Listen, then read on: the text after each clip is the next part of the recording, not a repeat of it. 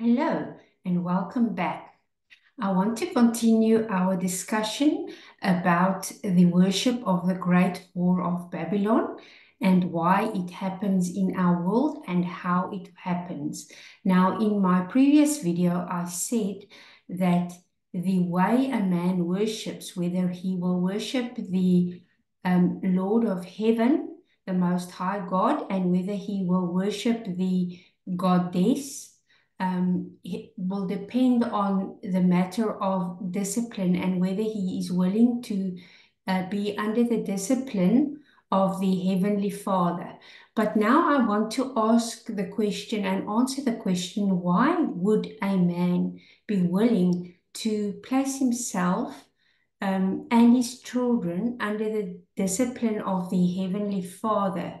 Where we read here in um, Hebrews 12 that the Heavenly Father chastens us. Um, he rebukes and chastens us and scourges every son whom he receives. So, why would a man be willing to be chastened of the Lord and disciplined of the Lord so that he may be a son of God?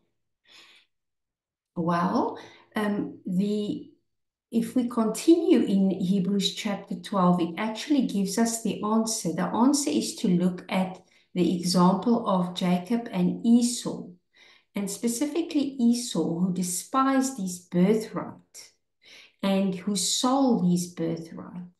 So let us look at Esau and see what we can glean here. It says there in Hebrews 12, it says there from verse 14, pursue peace with all people and holiness, without which no one will see the Lord, looking carefully lest anyone fall short of the grace of God, lest any root of bitterness sp springing up cause trouble, and by this many become defiled, lest there be any fornicator or profane person like Esau, who for one morsel of food sold his birthright.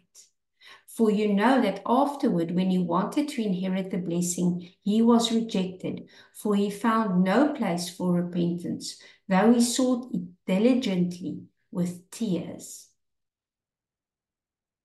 And then in Genesis 25, we also read the story of how Esau sold his birthright. I don't think I need to read it. Um, most uh, viewers will probably know this. But uh, if you do not, it is in Genesis 25, verse 29 to 34, and you can go and read that um, by yourself or pause the video to read that. But um, I want to point out here that it is written, thus Esau despised his birthright. He sold his birthright and he despised it. And we read elsewhere in scripture that um, God hated Esau, which people find very offensive because they do not understand the spiritual implications of this.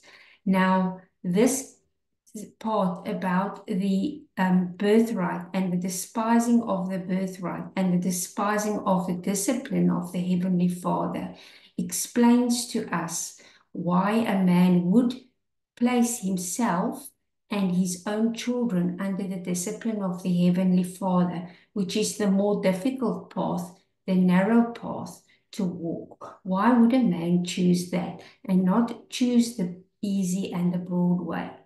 And the um, the part in Hebrews 12 about Esau and in Genesis 25 explains this. The reason a man would be willing to, to submit to the discipline of the Heavenly Father is because he values his birthright. He understands the value of his birthright, and therefore he is willing for himself to be disciplined, and he also disciplines his children because he realizes that there is great, great value in his spiritual inheritance. We are told to seek first the kingdom of God and that it is a pearl of great price. And so, if we look at our Christian heritage, um, if we do not value it and we despise it like Esau, then we will not be willing to um, be subject to the Heavenly Father and His discipline. We also read in Hebrews 12 um, in verse 3 about Jesus and the example he gave us of discipline and submitting himself to the discipline of the Father when he walked this earth. So he is a contrast to Esau, which is called a profane person, a profane person like Esau, who for one morsel of food sold his birthright. Now, if you look what is happening in the world today, you can understand better why God says he hates Esau.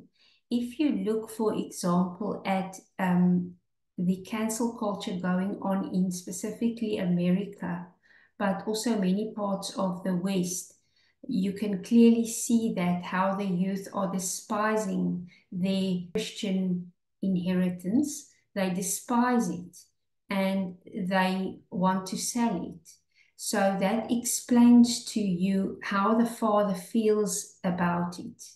Um, if you are watching my channel, I would imagine you are, you know, also somebody who is grieved in your heart when you see what is going on and how people are just um, turning their back on uh, um, their inheritance, even their cultural inheritance. But the important thing is their spiritual inheritance, Christianity, which they're basically selling also for um, red stuff like Esau. He sold it for, for that red uh, lentil soup people now sell it for red, uh, red communism um, and socialism. It's the same thing. It's also that red stuff that they want. Now, the reason people do that is because they um, have not they they've not been taught by the previous generations to value their spiritual inheritance, and so like Esau was famished when he came from the field from his hunt in the same way, um, many young people are spiritually famished. There's a spiritual famine for the word, for their parents have not taught them the word. And so they are vulnerable to selling their birthright. It says there in Hebrews 12, for one morsel of food, he sold his birthright. You get many young people now who want to sell um, Christianity and exchange it now for this uh, sort of a socialistic system, and even some go to the extreme of wanting a universal basic income or a very socialist system whereby um, they give up Christianity for a system that where the government looks after them. So it's selling your Christian heritage just to for carnal, fleshly things, for for food, um, for material things. And so, if you look at it that way, you can perfectly understand why God feels like He does about Esau. It's not about Esau specifically; it's that Esau symbolizes us when we are in that state of mind. And so you can see the worship of the great whore involves uh, a man not being a man.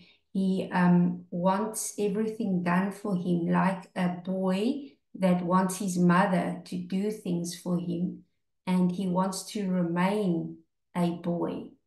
The children's story Peter Pan perfectly illustrate this, um, and actually the another name for the devil is Pan.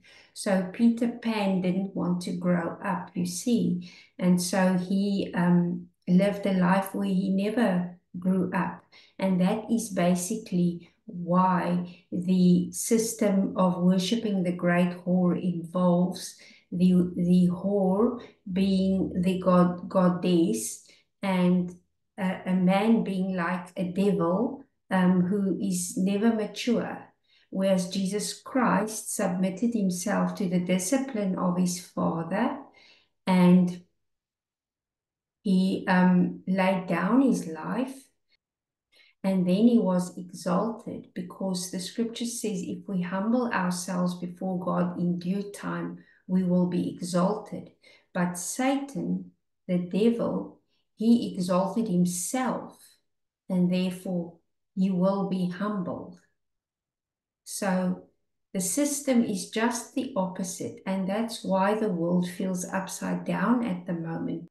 So we see that um, we need to value our spiritual inheritance. It needs to be very, very important to us to transfer that inheritance to the next generation and for ourselves to seek the kingdom of God first and above all.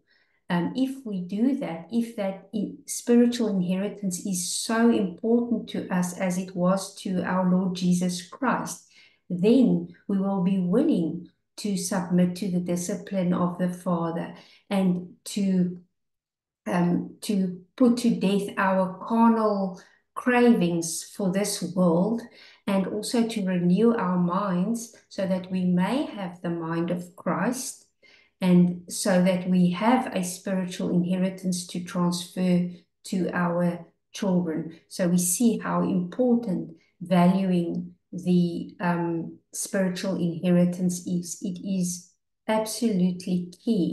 A man or a woman that does not value their spiritual inheritance will not be able to transfer it to the next generation. And then the generations will weaken uh, until the time comes when they are spiritually so famished that they will despise their birthright and that they will easily give it up for um, something that is worthless.